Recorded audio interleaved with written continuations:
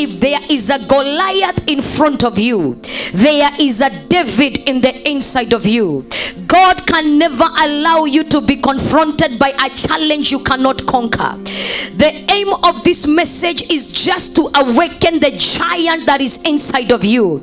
I want you to have the heart of a champion, the mind of an overcomer, and the spirit of a conqueror.